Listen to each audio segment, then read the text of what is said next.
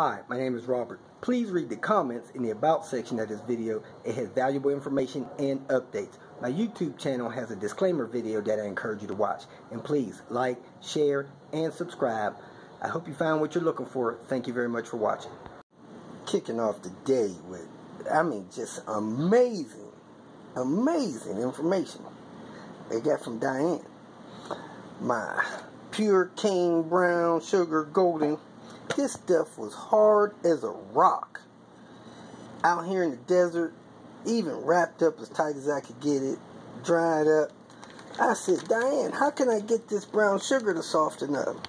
She said, put a little piece of bread in there. I'm thinking, man, this stuff is like a rock. A little piece of bread is not going to bust that up. Look how soft and pliable that is. Just with this little piece of bread I put in there.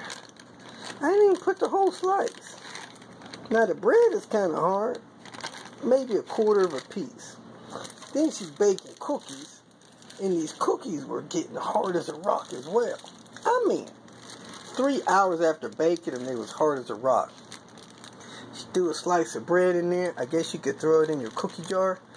And man, those cookies are firm, but soft and bendable.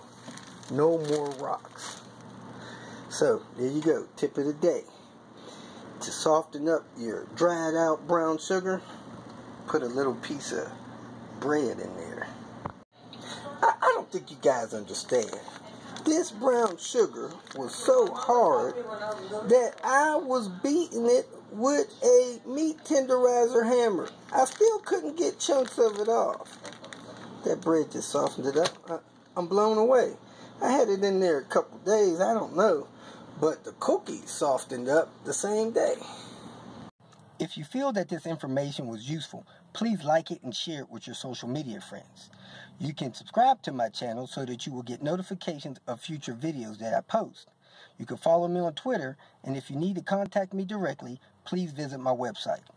And if you have any questions, leave them below, and someone or myself will reply to them. Again, thank you very much for watching.